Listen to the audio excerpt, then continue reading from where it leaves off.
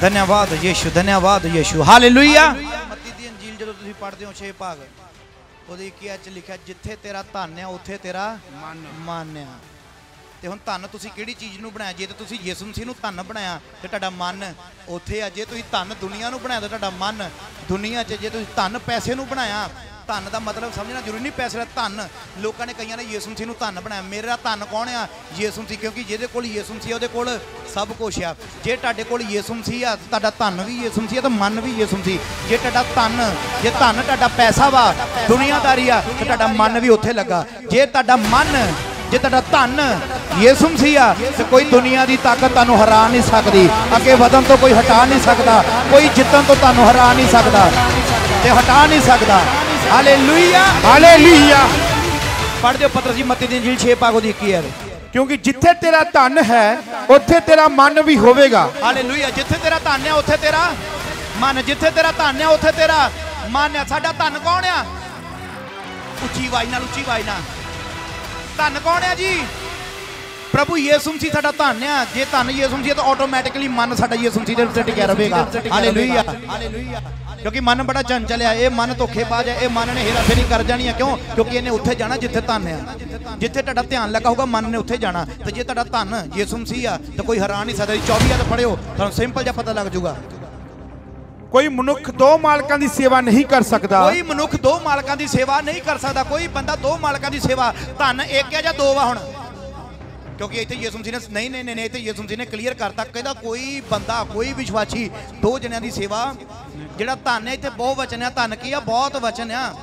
ਇਹ ਦੋ ਜਣਿਆਂ ਨੂੰ ਦਰਸਾ ਰਿਹਾ ਧਨ ਕਿੰਨੇ ਨੂੰ ਦਰਸਾ ਰਿਹਾ ਦੋ ਇੱਕ ਪਾਸੇ ਦੁਨੀਆਦਾਰੀ ਇੱਕ ਪਾਸੇ ਯਿਸੂ ਮਸੀਹ। ਜੇ ਤੁਸੀਂ ਧਨ ਯਿਸੂ ਮਸੀਹ ਨੂੰ ਸਮਝਿਆ ਤੇ ਤੁਹਾਡਾ ਮਨ ਉੱਥੇ ਜੇ ਤੁਸੀਂ ਧਨ ਪੈਸੇ ਵੱਲ ਲਾਇਆ ਹੋਇਆ ਧਨ ਤੁਸੀਂ ਇੱਧਰ ਲਾਲਚ ਵਾਲੇ ਬੰਨੇ ਲਾਇਆ ਹੋਇਆ ਤੇ ਤੁਹਾਡਾ ਮਨ ਵੀ ਉੱਧਰ ਲੱਗੂਗਾ ਫਿਰ ਯਿਸੂ ਮਸੀਹ ਵੱਲ ਨਹੀਂਗਾ ਹਾਲੇਲੂਇਆ ਹਾਲੇਲੂਇਆ ਕਿਉਂਕਿ ਇੱਕ ਬੰਦਾ ਦੋ ਮਾਲਕਾਂ ਦੀ ਸੇਵਾ ਨਹੀਂ ਕਰ ਫਿਰ ਤੁਸੀਂ ਦੋ ਬੰਦਿਆਂ ਦੀ ਸੇਵਾ ਨਹੀਂ ਕਰਦੇ, ਨਾ ਯਿਸੂ ਮਸੀਹ ਦੀ, ਨਾ ਦੁਨੀਆ ਦੀ। ਵੀ ਅੱਜ ਮੈਂ ਪੈਸੇ ਨੂੰ ਕਮਾ ਲਵਾਂ, ਵੀ ਅੱਜ ਹਾਂਜੀ, ਐਤਵਾਰ ਹੈ ਜੀ, ਅੱਜ ਮੈਂ ਕਮਾਈ ਤੇ ਜਾਣਾ, ਅੱਜ ਮੈਂ ਪੈਸਾ ਕਮਾਉਣ ਜਾਣਾ, ਫਿਰ ਤੁਸੀਂ ਯਿਸੂ ਮਸੀਹ ਨੂੰ ਖੁਸ਼ ਨਹੀਂ ਕਰ ਸਕਦੇ। ਕਿਉਂ? ਤੁਹਾਡਾ ਮਨ ਹੀ ਉਧਰ ਲੱਗਾ। ਇਸ ਲਈ ਤੁਹਾਡਾ ਧਨ ਕੌਣ ਆ? ਪ੍ਰਭੂ ਯਿਸੂ ਮਸੀਹ ਕਹਿੰਦਾ, ਇੱਕ ਬੰਦਾ ਦੋ ਜਣਿਆਂ ਦੀ ਸੇਵਾ ਨਹੀਂ ਕਰ ਸਕਦਾ। ਕਰ ਸਕਦੇ ਹੋ? ਇੱਕ ਖੁਸ਼ ਹੋਊਗਾ, ਇੱਕ ਕੀ ਹੋਊਗਾ? ਤੇ ਇਸ ਲਈ ਕਹਿ ਰਿਹਾ, ਜਿੱਥੇ ਤੇਰਾ ਧਨ ਆ, ਉੱਥੇ ਤੇਰਾ ਮਨ ਆ। ਇਹ ਮਨ ਦਾ ਰੌਲਾ ਸ਼ੈਤਾਨ ਮਨ ਨੂੰ ਹੀ ਭਟਕਾਉਂਦਾ। ਆਦਮ ਨੂੰ ਭਟਕਾ ਲਿਆ ਉਹਦੇ ਮਨ ਨੂੰ ਔਰਤ ਦੇ ਮਨ ਨੂੰ ਹੀ ਭਟਕਾਇਆ ਤੇ ਫਲ ਖਵਾਇਆ। ਤੇ ਬਾਗ ਚੋਂ ਬਲੇਸਿੰਗ ਤੋਂ ਬਾਹਰ ਹੋ ਗਏ ਜੇ ਤੁਹਾਡਾ ਮਨ ਅੱਜ ਕੰਟਰੋਲ ਵਿੱਚ ਤੁਹਾਡਾ ਮਨ ਯਿਸੂ ਮਸੀਹ ਦੇ ਉੱਤੇ ਆ ਕੋਈ ਵੀ ਤੁਹਾਨੂੰ ਹਰਾ ਨਹੀਂ ਸਕਦਾ। ਹਾਲੇਲੂਇਆ ਤੇ ਇਸ ਲਈ ਕਿਹਾ ਜਿੱਥੇ ਤੇਰਾ ਧਨ ਆ ਉੱਥੇ ਤੇਰਾ ਮਨ ਹੋਵੇ। ਤੇ ਸਾਡਾ ਧਨ ਕੌਣ ਆ? ਕਿਉਂਕਿ ਯਿਸੂ ਮਸੀਹ ਨੇ ਮੱਤੀ ਦੀ ਇੰਜੀਲ 13 ਪਾਗ 'ਚ ਬਹੁਤ ਐਗਜ਼ਾਮਪਲਾਂ ਦਿੱਤੀ, ਇੱਕ ਖੇਤ ਵਿੱਚ ਖੇਤੀ ਕਰ ਰਹੇ, ਉਹਨੂੰ ਬੰਦੇ ਨੂੰ ਖੇਤ ਵਿੱਚੋਂ ਇੱਕ ਬਹੁਤੀ ਕੀਮਤੀ ਖਜ਼ਾਨਾ ਲੱਭਿਆ, ਉਹਨੇ ਜਾ ਕੇ ਖੇਤ ਵੇਚਤਾ, ਉਸ ਮੋਤੀ ਨੂੰ ਖਰੀਦਣ ਦੇ ਲਈ। ਜੇ ਸਾਡਾ ਧਨ ਯਿਸੂ ਮਸੀਹ ਆ, ਜੇ ਤੁਸੀਂ ਯਿਸੂ ਮਸੀਹ ਦੇ ਉੱਤੇ ਮਨ ਲਾਇਆ ਹੋਇਆ, ਯਿਸੂ ਮਸੀਹ ਨੂੰ ਪਾਇਆ ਹੋਇਆ ਵਾ, ਤੇ ਕੋਈ ਦੁਨੀਆ ਦੀ ਤਾਕਤ ਤੁਹਾਨੂੰ ਅੱਗੇ ਵਧਣ ਤੋਂ, ਕੋਈ ਦੁਨੀਆ ਦੀ ਤਾਕਤ ਤੁਹਾਨੂੰ ਅਮੀਰ ਹੋਣ ਤੋਂ, ਕੋਈ ਦੁਨੀਆ ਦੀ ਤਾਕਤ ਤੁਹਾਨੂੰ ਬਲੈਸ ਹੋਣ ਤੋਂ ਰੋਕ ਨਹੀਂ ਸਕਦੀ, ਰੋਕ ਨਹੀਂ ਸਕਦੀ। ਹਾਲੇਲੂਇਆ ਹਾਲੇਲੂਇਆ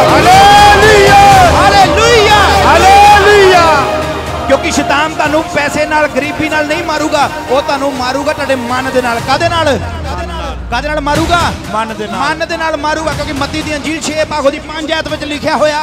ਕਹਿੰਦਾ ਪਰਮੇਸ਼ਰ ਕਹਿੰਦਾ ਮੈਂ ਆਦਮ ਨੂੰ ਬਣਾਉਣ ਤੋਂ ਰੰਜ ਹੋਇਆ ਵਾਂ। ਮੈਂ ਦੁਖੀ ਹੋਇਆ ਕਿਉਂ? ਕਿਉਂਕਿ ਆਦਮ ਦੇ ਮਨ ਦੀ ਭਾਵਨਾ ਸਾਰਾ ਦਿਨ ਕੀ ਰਹਿੰਦੀ ਆ? ਕਿਉਂਕਿ ਉਹਦਾ ਧਨ ਦੁਨੀਆ ਬਣ ਚੁੱਕੀ ਸੀ ਉਹਦਾ ਧਨ ਸੈਕਸ ਬਣ ਚੁੱਕਾ ਸੀ ਉਹਦਾ ਧਨ ਵਿਭਚਾਰ ਬਣ ਚੁੱਕਾ ਸੀਗਾ। ਤੇ ਜਿੱਥੇ ਤੁਹਾਡਾ ਧਨ ਆ ਉੱਥੇ ਤੁਹਾਡਾ ਕੀ ਆ? ਧਨ ਪੈਸੇ ਨੂੰ ਨਾ ਸਮਝੀ ਜਾਓ, ਧਨ ਕੋਈ ਵੀ ਚੀਜ਼ ਨੂੰ ਤੁਸੀਂ ਧਨ ਬਣਾਤਾ, ਕੋਈ ਚੀਜ਼ ਤੁਹਾਡੇ ਲਈ ਪੈਸੇ ਤੋਂ ਵੀ ਉੱਪਰ ਹੋ ਗਈ ਆ। ਜਿਸ ਤਰ੍ਹਾਂ ਅੱਜਕੱਲ ਪਿਆਰ ਮੁਹੱਬਤ ਮੁੰਡਿਆਂ ਲਈ ਪੈਸੇ ਘਰ ਪਰਿਵਾਰ ਤੋਂ ਵੀ ਉੱਚਾ, ਅੱਜ ਨਸ਼ਾ ਪੈਸੇ ਤੋਂ ਵੀ ਉੱਚਾ ਲੋਕਾਂ ਨੂੰ ਲੱਗਦਾ। ਉਹਨਾਂ ਲਈ ਉਹ ਧਨ ਹੈ ਤਾਂ ਉਹਨਾਂ ਦਾ ਮਨ ਵੀ ਫਿਰ ਉੱਥੇ ਹੀ ਆ। ਹਾਲੇਲੂਇਆ ਤੇ ਇਸ ਲਈ ਪ੍ਰਭੂ ਕਹਿ ਰਿਹਾ ਹੈਗਾ ਵੀ ਕਹਿੰਦਾ ਇਨਸਾਨ ਦੇ ਮਨ ਦੀ ਭਾਵਨਾ ਕੀ ਰਹਿੰਦੀ ਸਾਰਾ ਦਿਨ? ਪੜ੍ਹਦੇ ਹੋ ਉਤਪਤੀ 6 5 ਹਾਲੇਲੂਇਆ ਉਤਪਤੀ 6 5 ਫਿਰ ਯਹੋਵਾ ਨੇ ਵੇਖਿਆ ਕਿ ਆਦਮੀ ਦੀ ਬੁਰਾਈ ਧਰਤੀ ਉੱਤੇ ਵੱਧ ਗਈ ਔਰ ਉਸ ਦੇ ਮਨ ਦੇ ਵਿਚਾਰਾਂ ਦੀ ਹਰ ਇੱਕ ਭਾਵਨਾ ਸਾਰਾ ਦਿਨ ਬੁਰੀ ਹੀ ਰਹਿੰਦੀ ਹੈ। ਕਿਹੜੀ ਕਿਹਦੀ ਕਾਦੀ ਭਾਵਨਾ? ਮਨ ਦੇ ਵਿਚਾਰਾਂ ਦੀ। ਕਾਦੀ ਭਾਵਨਾ ਜੀ? ਮਨ ਦੇ ਵਿਚਾਰ ਸਾਰਾ ਦਿਨ ਕੀ ਸੀਗੇ? ਬੁਰੇ ਸੀਗੇ ਬੁਰੇ ਸੀਗੇ। ਇਹ ਤੁਹਾਨੂੰ ਮੱਤੀ ਦੀ ਅੰਜੀਲ ਦੇ ਵਿੱਚ ਜਿਹੜਾ ਪੜਾਇਆ ਵਾ 6 ਦੀ 21 ਉਹਦਾ ਤੁਹਾਨੂੰ ਅੰਤਰ ਦੱਸ ਰਿਹਾ ਮੈਂ ਉਹਦੇ ਉਹਦਾ ਭੇਤ ਦੱਸ ਰਿਹਾ। ਪ੍ਰਭੂ ਨੇ ਕਿਉਂ ਕਹੀ ਜਿੱਥੇ ਤੇਰਾ ਧਨ ਹੈ ਉੱਥੇ ਤੇਰਾ ਮਨ ਆ। ਧਨ ਕੀ ਚੀਜ਼ ਹੈ ਧਨ? ਜੇ ਤੁਸੀਂ ਦੁਨੀਆ ਨੂੰ ਧਨ ਬਣਾ ਲਿਆ ਤਾਂ ਤੁਹਾਡਾ ਮਨ ਵੀ ਉੱਥੇ ਜੇ ਤੁਹਾਡਾ ਧਨ ਯਿਸੂ ਮਸੀਹ ਆ। ਪੈਸਾ ਨਹੀਂ ਜੇ ਧਨ ਯਿਸੂ ਮਸੀਹ ਆ। ਮਨ ਵੀ ਯਿਸੂ ਮਸੀਹ ਤੇ ਟਿਕਿਆ ਰਹੂਗਾ। ਵਿਚਾਰ ਵਧੀਆ ਹੋਣਗੇ ਤੁਹਾਡੀ ਸੋਚ ਵਧੀਆ ਹੋਵੇਗੀ ਤੁਹਾਡਾ ਈਮਾਨ ਵਧੀਆ ਹੋਵੇਗਾ ਤੁਹਾਡੀਆਂ ਸੋਚਾਂ ਬਲੈਸ ਹੋਣਗੀਆਂ। ਹਾਲੇਲੂਇਆ ਹਾਲੇਲੂਇਆ ਹਾਲੇਲੂਇਆ ਹਾਲੇਲੂਇਆ ਪਰਮੇਸ਼ਰ ਕਹਿੰਦਾ ਆਦਮੀ ਦੀ ਮਨ ਦੀ ਭਾਵਨਾ ਸਾਰਾ ਦਿਨ ਕੀ ਰਹਿੰਦੀ ਆ? ਬੁਰੀ ਬੁਰੀ ਰਹਿੰਦੀ ਆ। ਵਿਚਾਰ ਸ਼ੈਤਾਨ ਤੁਹਾਡੇ ਮਨ ਨਾਲ ਖੇਲਦਾ। ਕਾਦੇ ਨਾਲ ਖੇਲਦਾ? ਮਨ ਨਾਲ ਖੇਲੂਗਾ ਤੁਹਾਡੇ। ਤੁਹਾਡੇ ਮਨ ਦੇ ਵਿੱਚ ਵਿਚਾਰ ਬੁਰੇ ਪੈਦਾ ਕਰੂ। ਕਿਉਂ? ਕਿਉਂਕਿ ਉਹਨਾਂ ਨੇ ਜਿਹੜੇ ਆਦਮ ਦੀ ਭਾ- ਭਾਵਨਾ ਸੀ, ਉਹ ਸਾਰਾ ਦਿਨ ਵਿਚਾਰ ਦੀ ਭਾਵਨਾ ਹੋ ਗਈ ਸੀਗੀ। ਭਾ- ਭਾਵਨਾ ਉਹਦੀ ਸਾਰੀ ਗਲਤ ਸੀਗੀ। ਸਾਰੀ ਭਾਵਨਾ ਉਹਦੀ ਸੈਕਸ਼ੂਅਲ ਹੋ ਚੁੱਕੀ ਸੀਗੀ, ਉਹਦੀ ਭਾਵਨਾ ਸਰੀਰਕ ਸੰਬੰਧਾਂ ਵੱਲ ਜਾਂਦੀ ਸੀਗੀ।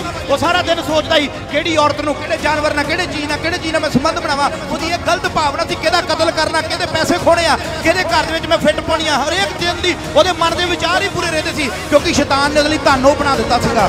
ਤੇ ਉਹਦੇ ਦਾ ਮਨ ਉਹਨਾਂ ਚੀਜ਼ਾਂ ਦੀ ਤੇ ਜਿਹੜੇ ਵਿਸ਼ਵਾਸੀ ਦਾ ਧਨ ਯਿਸੂ ਮਸੀਹ ਆ, ਉਹਨਾਂ ਦਾ ਮਨ ਯਿਸੂ ਮਸੀਹ ਦੇ ਉੱਤੇ ਆ। ਈਮਾਨ ਯਿਸੂ ਮਸੀਹ ਦੇ ਉੱਤੇ ਆ। ਉਹਨਾਂ ਦੇ ਮਨ ਦੀਆਂ ਧਾਰਾਂ, ਉਹਨਾਂ ਦੇ ਮਨ ਦੀਆਂ ਧਾਰਾਂ ਜਿਹੜੀਆਂ ਖੁਸ਼ੀਆਂ ਦੇ ਨਾਲ ਨਿਕਲਦੀਆਂ ਵਾ ਹਾਲੇਲੂਇਆ ਹਾਲੇਲੂਇਆ ਹਾਲੇਲੂਇਆ ਹਾਲੇਲੂਇਆ ਮੇਰਾ ਧਨ ਯਿਸੂ ਮਸੀਹ ਆ ਮੇਰਾ ਧਨ।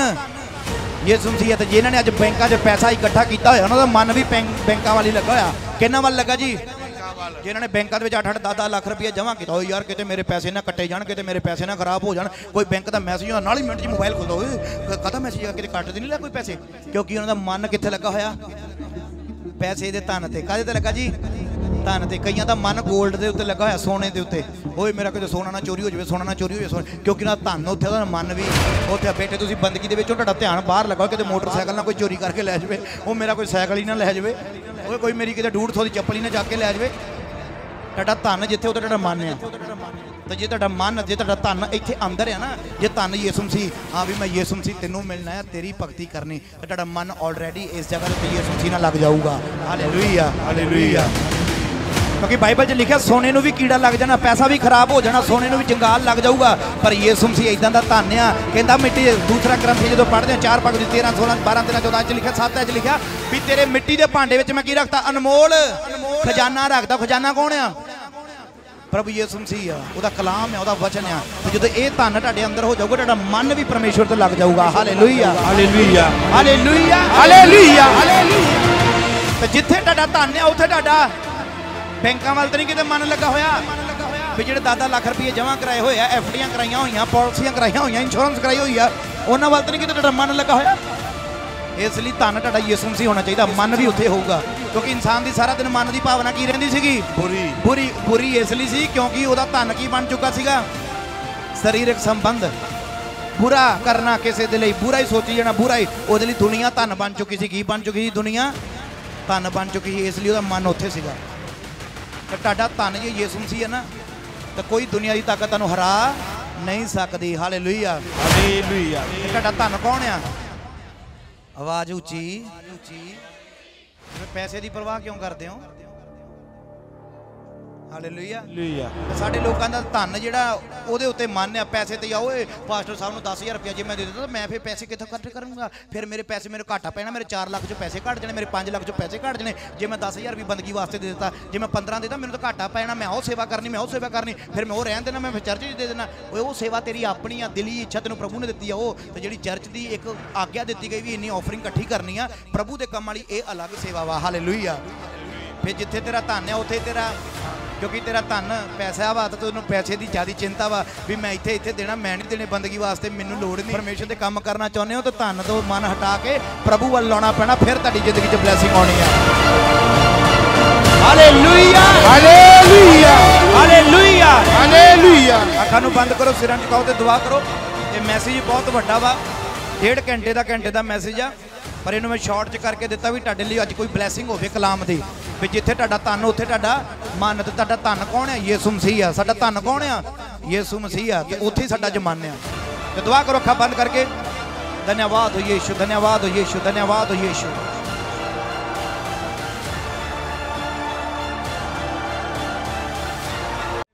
ਮੈਂ ਪ੍ਰਭੂ ਯਿਸੂ ਮਸੀਹ ਦੇ ਨਾਮ ਦੇ ਵਿੱਚ ਤੁਹਾਡੇ ਲਈ ਬਲੇਸਿੰਗ ਮੰਗਦਾ। ਤੁਸੀਂ ਬਲੈਸ ਹੋ। ਇਸ ਛੋਟੇ ਜਿਹੇ ਮੈਸੇਜ ਦੇ ਦੁਆਰਾ ਖੁਦਾਵੰਦ ਤੁਹਾਨੂੰ ਬਲੈਸ ਕਰੇਗਾ। ਔਰ ਮੈਂ ਤੁਹਾਨੂੰ ਇਨਵੀਟੇਸ਼ਨ ਦੇਣਾ ਚਾਹੁੰਦਾ 25 ਦਸੰਬਰ ਨੂੰ ਅਰਜੁਨ ਫਾਰਮ ਦੇ ਵਿੱਚ ਮੀਟਿੰਗ ਹੋ ਰਹੀ ਆ ਕ੍ਰਿਸਮਸ ਦੀ। ਮੇਰੇ ਵੱਲੋਂ, ਮੇਰੇ ਪੂਰੇ ਪਰਿਵਾਰ ਵੱਲੋਂ ਦਾ ਹੋਲੀ ਸਪਿਰਿਟ ਮਿਨਿਸਟਰੀ ਵੱਲੋਂ ਮੋਸਟ ਵੈਲਕਮ ਤੁਹਾਨੂੰ ਸਵਾਗਤ ਕੀਤਾ ਜਾਂਦਾ ਜੀ ਆਇਆਂ ਨੂੰ ਆਖਦਾ ਵਾਂ, ਔਰ ਤੁਹਾਨੂੰ ਖੁੱਲਾ ਸੱਦਾ ਤੁਸੀਂ ਪਰਿਵਾਰ ਸਮੇਤ ਆ ਸਕਦੇ ਹੋ, ਇਸ ਮੀਟਿੰਗ ਨੂੰ ਅਟੈਂਡ ਕਰ ਸਕਦੇ ਹੋ। ਇਹ ਮੀਟਿੰਗ ਤੁਹਾਡੇ ਲਈ ਬਲੇਸਿੰਗ ਵਾਲੀ ਮੀਟਿੰਗ ਹੋਵੇਗੀ। ਆਮੇਨ ਪ੍ਰਭੂ ਵਿੱਚ ਵਾਧੇ ਜਾਓ ਔਰ ਖੁਦਾਵੰ ਤੁਹਾਨੂੰ ਇਸ ਕਲਾਮ ਦੇ ਦੁਆਰਾ ਬਹੁਤ ਬਰਕਤ ਦੇਵੇ ਆਮੇਨ